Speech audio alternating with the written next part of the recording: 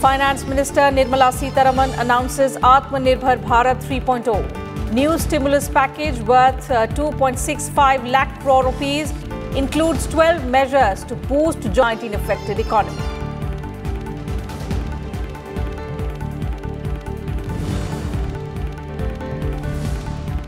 Income tax relief for developers and home buyers.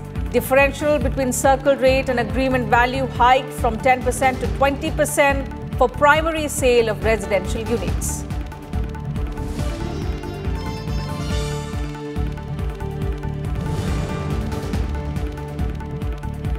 India and ASEAN cooperate on rebuilding post-COVID-19 economy. Prime Minister Modi underscores security and development concerns at summit, says ASEAN is at the core of India's Act East policy.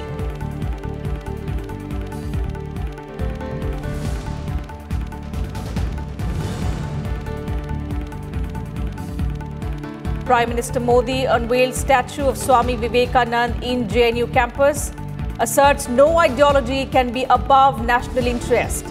Says India not seeking self reliance in physical or material terms alone, but in thoughts and culture as well.